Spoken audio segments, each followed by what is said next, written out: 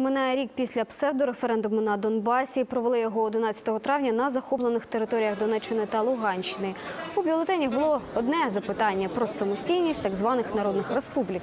Сепаратисти хотіли за прикладом Криму згодом приєднатись до Росії, але Москва офіційно референдуму не визнала. Натомість почала завозити зброю найманців та поширювати антиукраїнську пропаганду.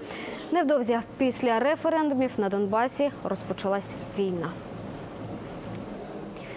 Про роль референдуму і подальший розвиток подій на Донбасі поговоримо з Оксаною Ярмишиною, головою всеукраїнської організації у справах вимушених переселенців. Пані Оксано, на час проведення псевдореферендуму ви були у Донецьку. Розкажіть, як усе було? Яка була обстановка в місті? Ну, обстановка була дуже напруженою.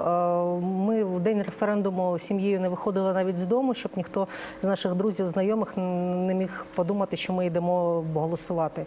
Але чоловік вийшов за хлібом, коли повернувся, він сказав: Оксанко, ми будемо їхати звідси. Е, Тому що він побачив е, ту кількість людей, яка йшла і яка йшла віддавати свої голоси на ці виборчі дільниці. Це було е, так неочікувано. Ми розуміли, що підуть пенсіонери, але те, що йшли молоді люди е, з сім'ями, е, це був жах, і ми зрозуміли, Які що ви бачили перспективи тоді? Ми розуміли, що це буде сіра зона. А ми тоді не вважали, що російська армія е, війде е, на нашу землю в складі регулярних частин. Ми вже бачили найманців Е, 9 травня. е, Кадирівці стріляли на площі Леніна з автоматів, і вони вже навіть не приховували свої присутності. Ми е, чули російську вимову тих людей, що були на в Донецьку. Але ми вважали, що після референдуму е, доля ДНР це буде така сіра зона Приднестров'я е, без якихось перспектив. Те, що буде така війна, яка відбулася, яка ще відбувається, ми навіть не могли ну, страшних снах би нам не приснилося. Коли ви вирішили вже переїхати із Донецька до Києва? 11 травня. 11 травня було прийнято рішення. е, Діти закінчили школу, у них закінчився е, спортивний сезон. Ми зібрали, е, ми навіть не речі зібрали, а ми зібрали їх спортивне е, знаряддя і так без речей зовсім, аби тільки виїхати, ми поїхали е, в Київ. У вас там залишились рідні, знайомі, ви з ними спілкуєтесь. Е, Як взагалі їм там живеться? Що вони розказують про обстановку в окупованих територіях? Я можу сказати, що ем, історії дуже різняться. Е, історії, які були восени, історії, які були взимку, і те, що відбувається зараз. Зараз ситуація у самому Донецьку трошки стабілізувалася. А, вже діють на рівних дві валюти в магазинах. Є каси, які приймають гривню, які приймають російські рублі.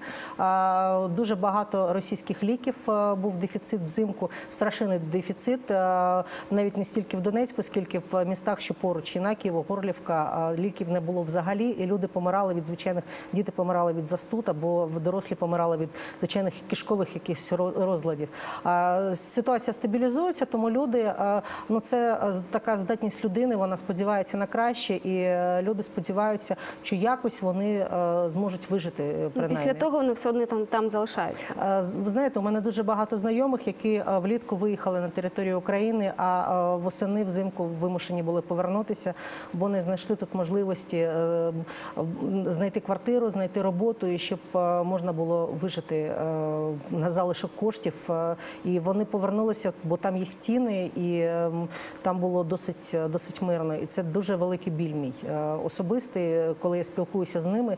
Я розумію, що ем, як вони абсолютно проукраїнські, е, вони були на мітингах за єдину Україну, не боялися, що їх будуть бити. Але зараз свідомість під впливом пропаганди вона змінюється. Вони не е, визнають ДНР, але вони дуже ображені, є дуже ображеними на Україну на те, що за рік Україною не було зроблено нічого. Розкажіть детальніше про те про ті проблеми, з якими ви зіштовхнулись, коли переїжджали рік тому, і що зараз змінили за цей час? Ну е, я не буду особисто про себе розповідати, бо в мене така історія. е, Я би не зіштовхнулася ні з якими проблемами, бо я є досить активним е, членом суспільства і взагалі-то є востребований на ринку праці. Але люди виїхало більше мільйона людей, і ми можемо зрозуміти, коли ми побачимо, що за рік не було державної програми стосовно житла, не, не розроблено розроблено державної програми стосовно інтеграції, не розроблено державної програми стосовно е, створення нових робочих місць. А виїхало біля 10% працездатного населення України. Це величезна е, така внутрішня міграція трудова, якої ще не було в Україні, але є світовий досвід. Є досвід Грузії, з яким вона е, рада була б ділитися з нами. І досвід Грузії показує, що е, ті кроки, які ми робимо, які робила спочатку Грузія, вони є хибними і вони дуже дорого коштували державі. Адже місця тимчасового перебування, що були створені в Грузії, на 250 тисяч е, переселенців внутрішніх, вони створили 749 е, місць тимчасового перебування. І вони зрозуміли через рік, що е, якби вони почали відразу будувати нове житло, постійне житло, то вони б зекономили дуже багато коштів.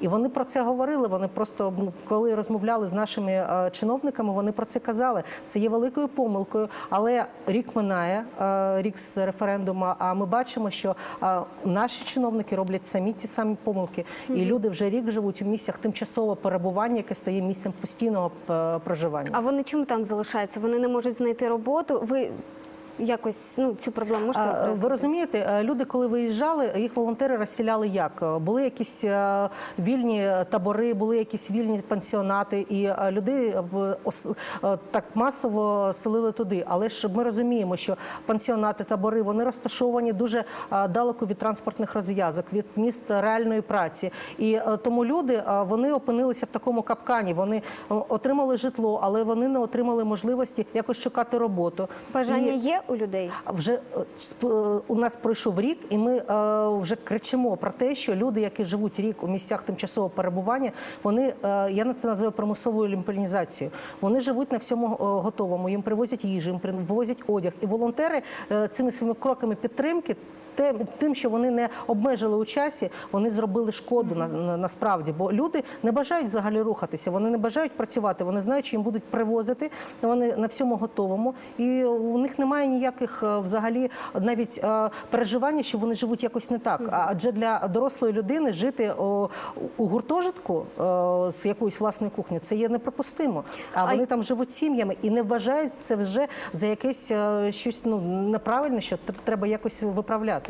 Є ті, хто переїхав сюди, там у Київ, у інші міста, е, починають відкривати свій бізнес, якось самі починають облаштовуватись, не чекаючи на допомогу волонтерів.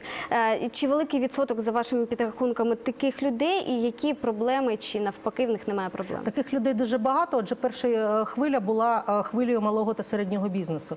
Виїхали люди або успішних топ-менеджерів, які мали освіту, які мали якісь посади і які мали досвід, і вони фахово були затребувані. Е, Вони виїхали. е, Не е, дуже мала частка могла розпочати власний бізнес, адже це є ще одною проблемою. У нас немає взагалі політики щодо підприємств. Я можу навести такий приклад у Горлівці. Батя, який там керував Горлівкою, перше, що він зробив, він зібрав підприємців і розповів їм про правила гри нові. Вони були бандитські, вони були злочинні, але це були правила, і всі розуміли. Ти або їх приймаєш і займаєшся бізнесом, або не приймаєш.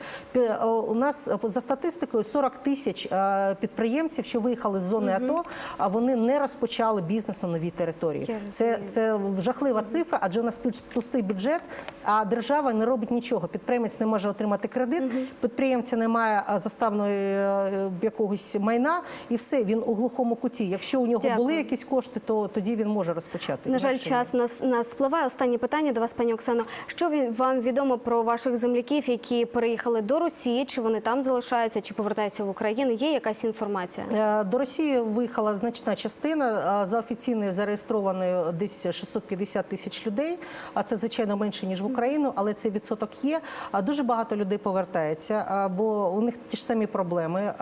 Росія у них ст- стратегія, що переселенці, біженці з Донбасу це є демографічний такий у них козир, і вони засіляють ними е, Сибір. Люди, які е, туди переїхали спочатку, вони починають повертатися, бо ні клімат, ні умови прожиття не є е, для них припустимими. Повертаються на Донбас чи в- Е, Україну? На жаль, повертаються на Донбас. Це ті люди, які обирали Росію, і ті люди, які бачать своє майбутнє з Росією. Дуже дякую вам, пані Оксана.